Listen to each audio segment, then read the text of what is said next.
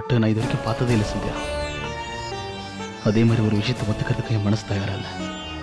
அம்மா இப்போ படுற இந்த வேதனைக்கு காரணம் நிச்சயமா அந்த திருடம் மட்டும் இல்லை. அம்மா இப்படி இருக்கிறதுக்கு வேற ஒரு காரணம் இருக்குன்னு என் மனசு சொல்லிக்கிட்டே இருக்கேன் எங்க அம்மா எனக்கு எப்பவும் தைரியம் சொல்லி எனக்கு துணையாக தான் இருப்பாங்க. மனுஷனுக்கு எது இருக்கோ இல்லையோ கண்டிப்பா அவனுக்கு தைரியம் இருக்கணும். அதான் அவனை காப்பாற்ற எங்கள் அம்மா அடிக்கடி சொல்லுவாங்க. எந்த பிரச்சனை வந்தாலும் சரி மனசுல தைரியம் இருந்தா கண்டிப்பா சமாளிக்கலாம். ஆனால் இன்னைக்கு எங்க அம்மாவை பார்க்கும்போது ஏன் இப்படி உடஞ்சு போய் உட்காந்துருக்காங்கன்னு தெரியல. நிச்சயமா இதுக்கு பெரிய காரணம் இருக்கு. இது பாருங்க. திருடன் கிட்ட இருந்து தப்பிச்சு வந்தது ஒன்றும் அவ்வளவு சாதாரணமான விஷயம் இல்ல இது பாருங்க. அவங்க அஞ்சு லட்சத்தி அறுபதாயிரம் ரூபாய் கொடுத்து வாங்கின நகையை பத்திரமா எடுத்துட்டு வந்திருக்காங்க. அதுவும் இல்லாம அந்த திருடன் கிட்ட இருந்து நகையை பத்திரமா எடுத்துட்டு வராம இருந்திருந்தாங்கன்னா அப்புறம் இப்ப சவிதாவோட கல்யாணத்துல பெரிய பிரச்சனை வந்திருக்கோங்க. என்னை பொறுத்த வரைக்கும் இந்த விஷயம்தான் அவங்கள பயன்படுத்திட்டு இருக்கணும் நான் என்ன சொல்ல வரேன்னா ஒரு கெட்டது நடக்கலனாலும் நடந்துருமோங்கிற பயமே நம்மள நம்மள இடிஞ்சு போக செஞ்சிருங்க. அத்தை இந்த ஷாக்ல இருந்து வெளியே வரதுக்கு கொஞ்சம் டைம் எடுக்கும். கொஞ்ச நாள் போச்சுன்னா நிச்சயமா அவங்க இதெல்லாம் மறந்துடுவாங்க நீங்க எதுக்குமே கவலைப்படாம இருங்க. நீங்க ரிலாக்ஸா இருங்க.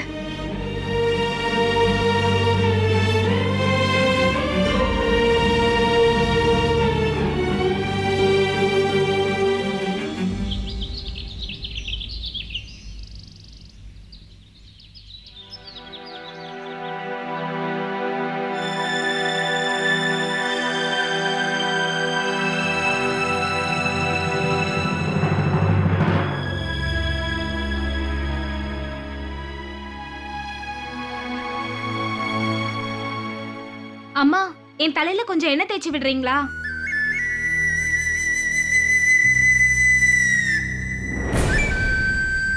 பூஜை முடிஞ்சதுக்கு அப்புறம் தேய்ச்சி விடுங்க. நான் உங்களுக்காக காத்துட்டு இருக்கேன். சவிதா நீங்க வந்து உட்காரு. நான் உனக்கு என்ன தேய்ச்சி விடுறேன். சரிங்க அண்ணி.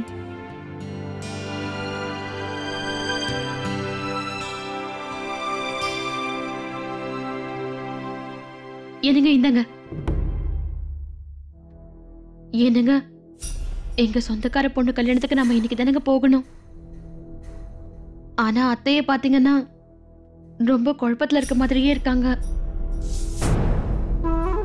நான் ஒருத்திங்க நான் ஏன் தான் இப்படி சோம்பேறியா இருக்கேன்னு புரியல. நேத்தே அந்த ஒட்டியானத்தை கேட்டு வாங்கியிருக்கணும். அத்தை இன்னைக்கு அதை தருவாங்களோ தரமாட்டாங்களோ தெரியல. காலையில இருந்து வேற மௌன விரதம் இருக்காங்க. நேத்து நடந்த விஷயத்தால அத்தை இப்படி ஆயிட்டாங்கன்னு எனக்கு தோணுதுங்க. இப்ப என்னங்க பண்றது? இதுல என்ன இருக்கு? உங்ககிட்ட நான் நகையா இல்ல? உங்ககிட்ட இருக்கிறதையே போட்டுக்க. உங்களுக்கு என்ன கொஞ்சம் கூட புத்தியே இல்லையாங்க? கொஞ்சம் கூட யோசிக்கவே மாட்டீங்களா? என்னங்க என்னோட நகை எல்லாத்தையும் நீங்க ஒரே இடத்துல வச்சீங்கன்னா கூட அத்தையோட ஒட்டியான மட்டும்தான் தனியா தெரியுங்க. ஏன்னா அந்த ஒட்டியான அவ்வளவு பார்வையா இருக்குங்க. இங்க பாருங்க. என் குடும்பத்தை சேர்ந்த எல்லாரும் அங்க வருவாங்க. பாக்குறவங்க எல்லாரும் என்ன சொல்லணும்? மீனாட்சி சரோஜாவோட மருமகன்னு சொன்னமா இல்லையா? எனக்கு அந்த ஒட்டியானத்தை எப்படியாவது போட்டே ஆகணுங்க சொல்லிட்டு. ஆனா அத்தை அவங்க கிட்ட எப்படிங்க போய் கேக்குறது? எப்படி ஆரம்பிப்பேனா? ஆனா எப்படியாவது கேட்டுதாங்க ஆகணும். பிரீத்தி அக்கா.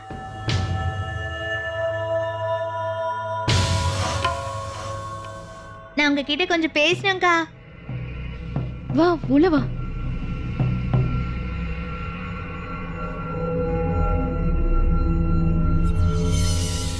பிரீத்தி அக்கா எங்க ஸ்கூல்ல ஒரு ஃபங்க்ஷன் நடக்க போகுது. அதுல நான் ராதாவா வேஷம் போடுறேன். எனக்கு நீங்க மேக்கப் பண்ணி விடுறீங்களா. ஆ சரிம்மா. ஆ, நான் இங்க வேலையெல்லாம் முடிச்சிட்டு நான் உங்க வீட்டுக்கு வரேன் சரியா? இப்ப நீ கிளம்பு. தேங்க்ஸ்க்கா வந்துடுவனி எதுக்கு சொன்ன நீ? எதுக்கு இப்படி சும்மா சமூக சேவை பண்ணிக்கிட்டு இருக்க?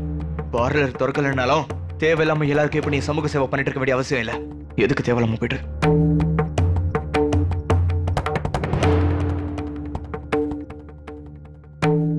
இப்படி கோவமா இருக்கிறதுனால தான் எல்லாருக்கிட்டையும் இவ சண்டை போட்டுக்கிட்டே இருக்கா.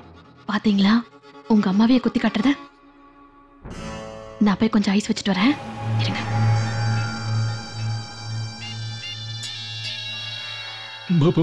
மீனாட்சி. அத்தை நேத்து ராத்திரி இந்த விஷயத்தை கேள்விப்பட்டதுல இருந்து உண்மையா சொல்லணும்னா எனக்கு சுத்தமா ஒரு பொட்ட தூக்கம் கூட வரவே இல்ல அத்தை. யாருக்கு கவலை இருக்கோ இல்லையோ எனக்கு உங்களை பத்தி நினைக்கும் போது ரொம்ப கவலையா இருக்கு அத்தை. நல்லா பொய் சொல்றா. நேத்து ராத்திரி உங்களால பாவம் ஒழுங்கா தூங்க கூட முடியல உங்க முகத்தை பார்க்கும்போது நல்லாவே தெரியுது அத்தை. உங்க முகம் இன்னைக்கு ரொம்ப வாடி போயிருக்கு அத்தை. உடம்பு சரியில்லாத மாதிரியே இருக்கீங்க. உங்களை நான் இப்படி எப்பவும் பார்த்ததே இல்ல அத்தை. எதுக்கு இப்ப இப்படி பேசி பேசி ஐஸ் வைக்கிறாங்க?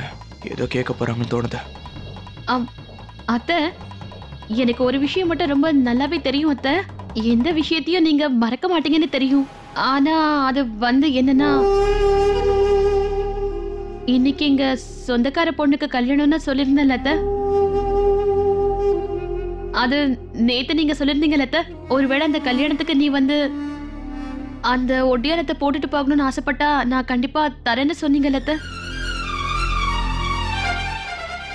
அதான் அதை பத்தி பாருங்க மினானி மீனானி நீங்க மறந்துட்டீங்கன்னு நினைக்கிறேன். இப்பெல்லாம் திருட்டு பசங்க பாட்டா பகலியே வந்து திருடிட்டு போறாங்க. அதனால ஒட்டியானத்தை நீங்க கொண்டு போலனா தான் எல்லாருக்கும் நல்லது.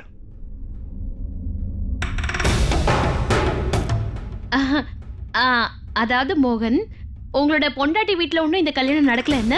ஏன்னா அங்க கல்யாணத்துக்கு ஃப்ராக் போட்டு போனா கூட யாரும் எந்த கேள்வி கேட்க மாட்டாங்க. நகை போட்டாலும் போடலாம் அதை பத்தி யாரும் கவலை கூட பட மாட்டாங்க. ஆனா இது ஏன் பிறந்த வீட்டுல நடக்கிற கல்யாணம்? அப்புறம் ஒரு விஷயம் சொல்லவா? அங்க நகைக்கெல்லாம் முக்கியத்துவம் தருவாங்க. எங்க குடும்பத்தை சேர்ந்தவங்க எல்லாரும் வருவாங்க. இப்போ என் சொந்தக்கார வீட்டு கல்யாணம்னு போது நான் பார்க்க கொஞ்சம் கௌரவமா இருக்கணும் அத்தை. என்ன சரோஜாவோட மருமகன்னு தான் பாப்பாங்க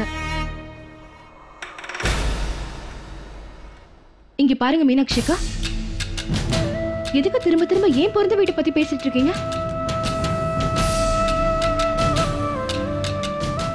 நான் உங்க பிறந்த வீட்டுக்காரங்களை பத்தி பேசிருக்கேன் எப்பவாவது? அப்புறம் என்ன?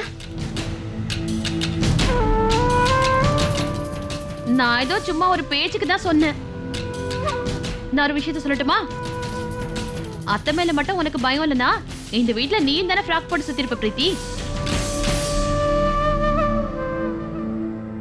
இந்த வீட்ல இருக்கவங்க புடவை கட்டணுங்கிறதுக்காக தானே நீயும் புடவை கட்டியிருக்க? சொல்லி பார்க்கலாம்.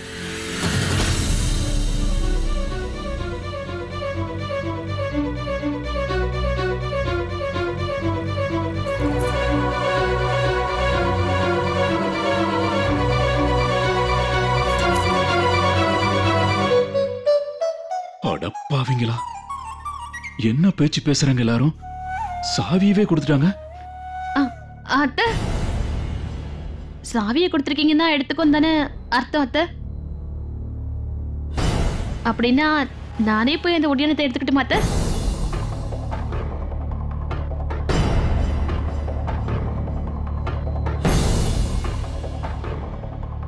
சரிங்க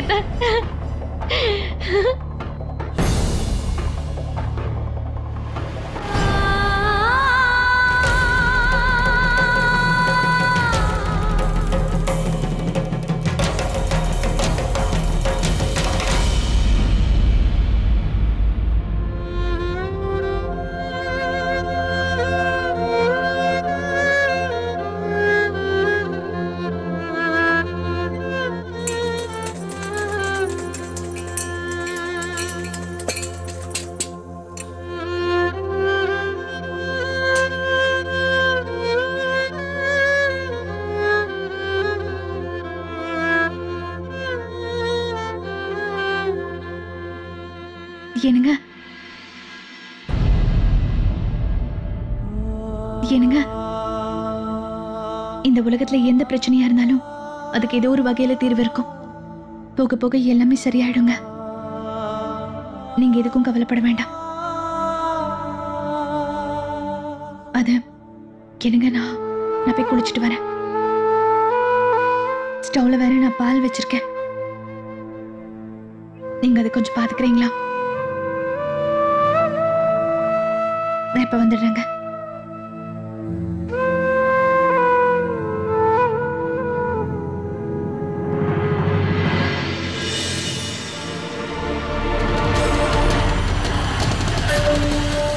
அட கடவுளே இந்த நகை எல்லாம் பார்க்க எவ்வளவு அழகா இருக்கு. இது எவ்வளவு அழகா இருக்கு. போட்டுக்கலாமா?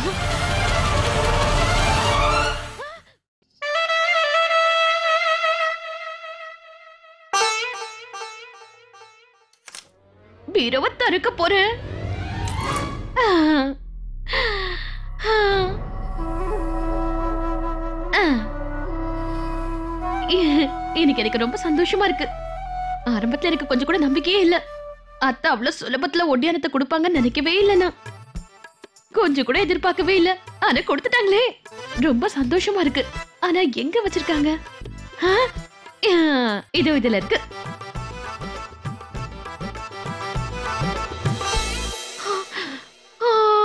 எவ்வளவு அழகா இருக்கு இந்த ஒட்டியானம் எவ்வளவு கனமா வேற இருக்கு. இந்த ஒட்டியானத்தை மட்டும் நான் போட்டுக்கிட்டு கல்யாணத்துக்கு போனேன்னா அவ்வளவுதான். என் அத்தை பொண்ணுங்க மாமா பொண்ணுங்க எல்லாரும் என்னை பார்த்து வயிறு அறிவானுங்க அது பார்க்க சந்தோஷமா இருக்கும். இது ரொம்ப ஜாக்கிரதையா கொண்டு போகணும்.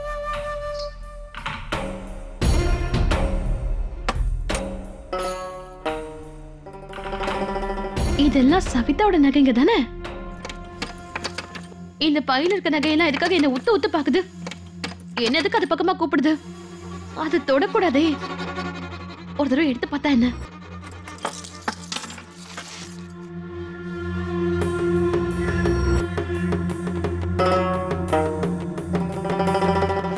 இது எல்லாத்த விடவும் எனக்கு ரொம்ப ரொம்ப பிடிச்ச செட் ஆச்சே.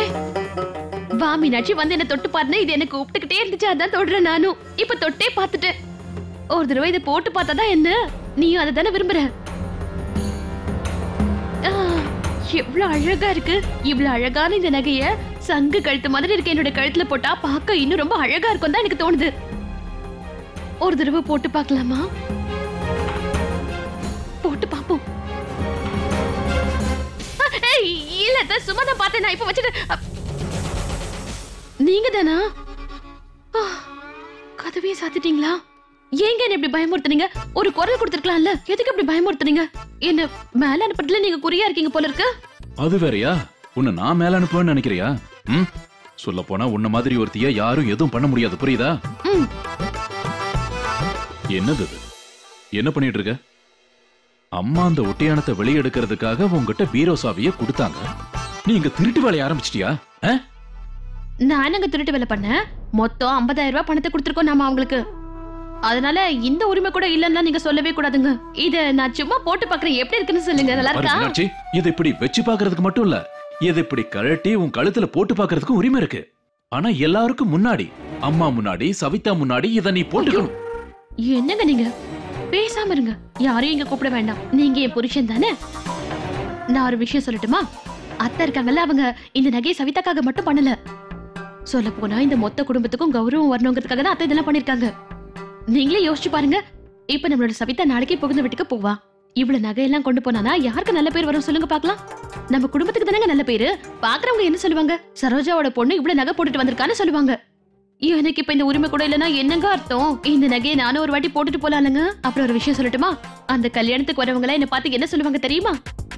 அங்க உங்க புகுந்து விட்ட ஆளுங்க கூட தான் வர போறாங்க எங்க அத்தை பொண்ணு மாமா பொண்ணு தங்கச்சிங்க எல்லாரும் உங்களை பாப்பாங்க மீனாட்சி நல்லா பாத்துக்கிறீங்கன்னு சொல்லி பாராட்டுவாங்க. என்னங்க? உங்களுக்கு தானே இதனால மரியாதை கிடைக்கும். அதுக்காக தான் சொல்றேன். அப்புறம் இங்க பாருங்க மத்த விஷயத்தெல்லாம் விடுங்க. நான் இருக்கேன்ல உங்களோட செல்லம் உங்களோட மீனாட்சி புத்திசாலியானவ எல்லாத்தையும் நானே பாத்துக்கிறேன். ஒரு விஷயம் சொல்லட்டுமாங்க? இந்த ஒட்டியானத்தை வைக்க வரும்போது சத்தமே இல்லாம நான் இந்த நகையை இங்க வச்சிடுறேங்க. சரி மீனாட்சி இத பாரு. இந்த மாதிரி ஸ்வீட் எல்லாம் பேசி என்ன மாட்டி விடாத? ஏற்கனவே நம்ம எத்தனை பிரச்சனையில மாட்டி இருக்கோம் இப்போ ஏதாவது ஆயிடுச்சுன்னா அதுக்கப்புறம் ஒண்ணும் ஆகாதுங்க. நீங்க எதுவும் பேசாதீங்க. நான் கண்டிப்பா இந்த நகையை போட்டு தான் வர போறேன்.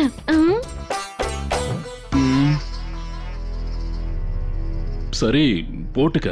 ஓ, நீ இத போட்டுக்க. ஆனா ஒண்ணு ஒரு விஷயத்த மட்டும் நான் உங்ககிட்ட முதல்லயே சொல்லிடுறேன். ஏதாவது பிரச்சனை வந்ததுன்னா எனக்கு தெரியாது.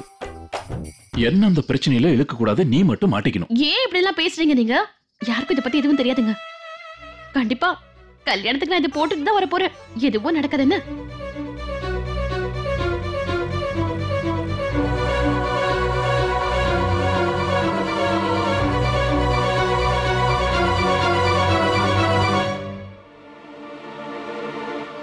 போதும் மீனாட்சி அக்கா இது வரைக்கும் ஏன் புருஷனையும் என்னையும் நீங்க அவமானப்படுத்துனதெல்லாம் போதும். இப்போ உங்க தங்கச்சியோட கல்யாணத்துக்கு தானே போறீங்க? வந்ததுக்கு அப்புறமா இந்த வீட்ல உங்களுக்கு என்னால ஒரு புது கச்சேரியே இருக்கு.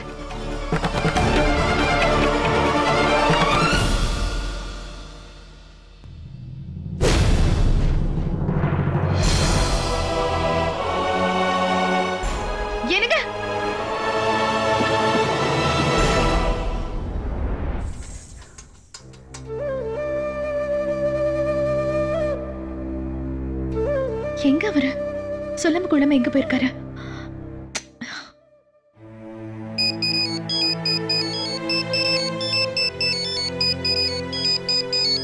அவரோட ஃபோன் ஹலோ அண்ணி நான் கடையில இருந்து பேசுறேன். அது வந்து அண்ணி எனக்கு திடீர்னு உடம்பு சரியில்லாம போயிடுச்சு. ஜுரம் அதிகமாயிடுச்சு. என்னால இன்னைக்கு வேலைக்கு வர முடியாது அண்ணி.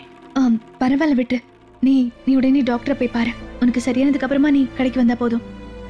ஆமா அண்ணி நான் ஹாஸ்பிட்டலுக்கு தான் போயிட்டு இருக்கேன் ஆனா நான் எதுக்கு இப்ப கால் பண்ணேன்னா சூர்யா அண்ணனுக்கு ஒரு பெரிய ஆர்டர் கிடைச்சிருக்கு. அதனால வேலை அதிகமா இருக்கும். அண்ணனால தனியா செய்யறது கொஞ்சம் கஷ்டம். நீ எதுக்கும் கவலைப்படாத.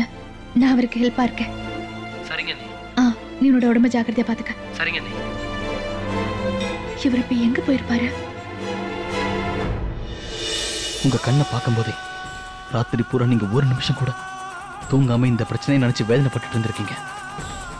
தயவு செஞ்சு சொல்லுங்கம்மா. உங்களுக்கு அப்படி என்ன பிரச்சனை?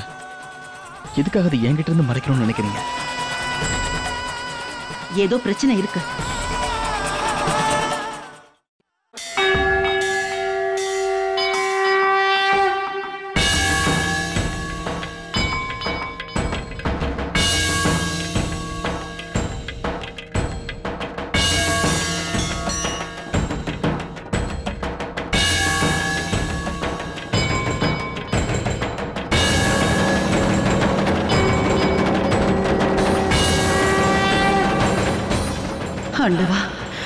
இவ்வளோ பெரிய பிரச்சனை வந்திருக்க?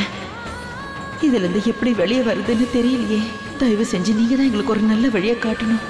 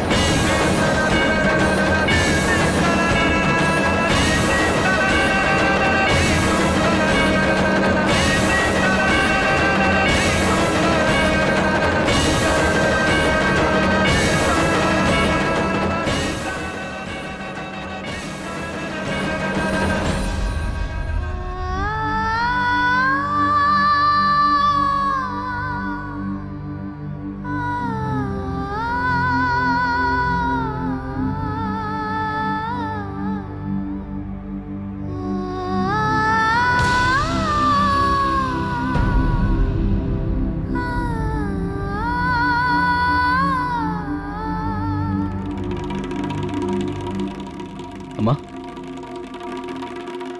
அம்மா. அம்மா. அம்மா இருங்க. அம்மா நீங்க ஏதோ பெரிய பிரச்சனை இருக்கீங்க எனக்கு இங்க பாருங்கம்மா. சாமி முன்னாடி நீங்க வேண்டும் போது உங்க முகத்துல வேதனையும் வலியும் நான் பார்த்தம்மா. உங்களோட வேதனை நல்லா உணர முடியுது. ஆனா அம்மா என்ன பிரச்சனை நீங்க சொல்ற வரைக்கும் என்னால எப்படி என்னால எப்படி என்ன பிரச்சனை புரிஞ்சுக்க முடியுமா? நீங்களே சொல்லுங்க. நீங்க அடிக்கடி சொல்லுவீங்கம்மா. சொந்த பந்தத்தோட பிரச்சனையை பகிர்ந்துக்கிறது நல்லதுன்னு. உங்களுக்கு என்ன பிரச்சனை என்கிட்ட சொல்லுங்க. தயங்காதீங்கம்மா. எனக்கு எந்த பிரச்சனையும் இல்லை. என் மனசுல எந்த வேதனையும் இல்லை. முதல்ல வழிய விடு. நான் வீட்டுக்கு போகணும். இல்லம்மா. உங்களுக்கு போட மாட்டேன் ஒரு தாயால மட்டும்தான் ஒரு பிள்ளையோட வேதனையை புரிஞ்சுக்க முடியும்னு சொன்னது யாரு? அம்மா உங்களுக்கும் எனக்கும் இருக்கிற உறவு ரொம்ப வித்தியாசமான உறவு.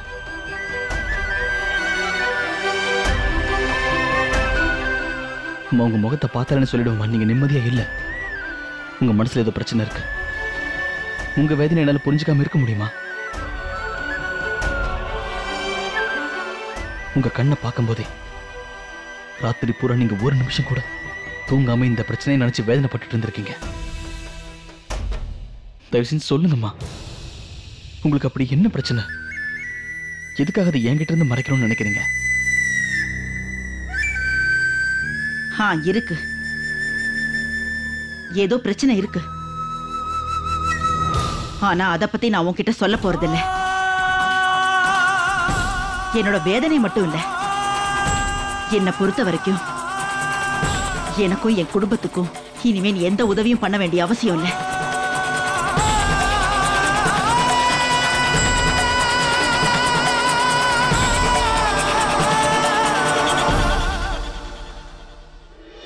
இங்க பாருங்க அவசரமா ஒரு பேக்கெட் பாதாம் அதுக்கப்புறம் அஞ்சு லிட்டர் பால் கொடுங்க. சரி இங்கே இரு. மீனாட்சி? அட கடவுளே இவங்க எங்க நடுவுல வந்தாங்கன்னே தெரியலையே. இப்ப இந்த நகையை நான் எப்படி மறைப்பேன்? மீனாட்சி இங்க என்ன பண்ற? அது வந்து என்னோட கசின் அதாவது என்னோட அத்தை பொண்ணுக்கு கல்யாணம். நாம எல்லாரும் ஒன்னா சேர்ந்து இந்த கல்யாணத்துக்கு வந்திருக்கலாமே.